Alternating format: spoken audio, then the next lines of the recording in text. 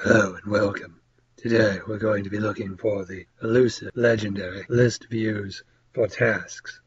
Some people don't believe they exist, which can only mean very few people have seen them and lived to tell about them.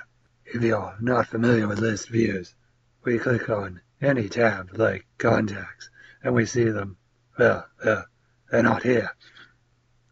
And that's because after clicking on the tab, we have to use the view pick list to select a list view and then click go in order to get to the list view. So we would think with the tasks there would be something similar on the home tab. So let's take a look here. And we don't see one. No, not there. It's actually right here, this bullet list thing. Now some of you would think there should be something similar for the tasks.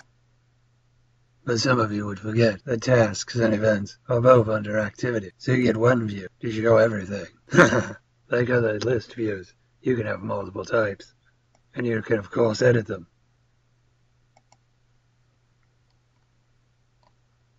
By simply setting the task equals to true, you can get a view of tasks. You can also change the fields, as you would expect with any list view.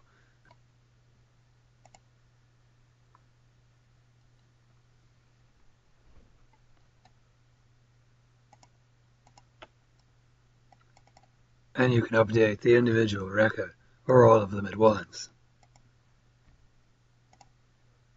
However, you can't update all of the fields, things like the due date and status cannot be updated from the grid. But you can change the order that the fields appear across the top. Now some people believe that you should be able to put this grid on the home tab but the problem with that is even with Visualforce, you can't get rid of the headers in an enhanced list grid.